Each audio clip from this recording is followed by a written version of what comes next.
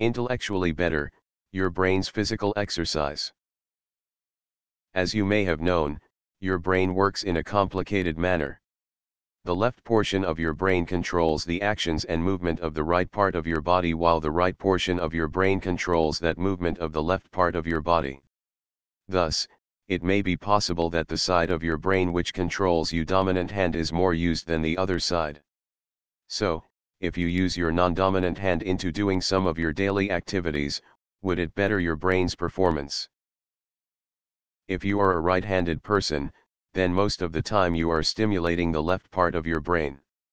Now, if you use your left hand in doing certain tasks, then you are able to stimulate the right side of your brain as well.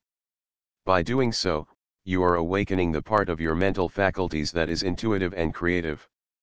On the other hand, if you are a left-handed person, and you use your right hand in doing simple tasks, then you are stimulating the side of your brain that is rational and organized. This idea is supported by Tony Buzan, the author of a book entitled Using Both Sides of the Brain. According to him, doing simple exercises or cross trainings like this bring in additional features to one's mental functioning, and at the same time there will be a total improvement in one's brain power. By doing so continuously, a person may stay mentally young and fresh. Other activities which can stimulate the other side of your brain may be done without really straining yourself. You can just simply walk around your room with your eyes shut close, or you can get dressed and strip of them with closed eyes. You can also revisit your childhood games, the game when you rub your stomach with one hand while your other hand is tapping your head is also a good brain exercise. Simple tasks like these already constitute physical exercise for your brain, and they can already bring good effects to your brain, no matter how trivial they may be.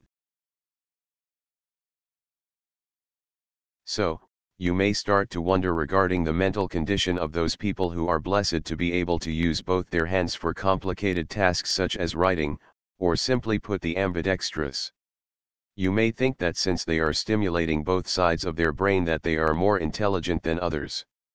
This is a misconception, there are no studies or researches which can attest to this idea. There are people who are able to teach and train themselves to use both their dominant and non-dominant hands to do tasks, and sports like the cricket players. But their training does not necessarily turn them into academic geniuses, so perhaps, this is just too much to ask for. So, whether or not these simple exercises may make you a little bit more intelligent, these physical exercises are still believed to have good effects on your brain. Academically, the results may just be minor, or even unnoticed, but there can be other aspects which are affected, such as your creativity, organization, and other features. One thing worth noting is that by doing these exercises, you are stimulating the part of your brain which is not used as often as the other part. Don't you think it is always best to keep them balanced?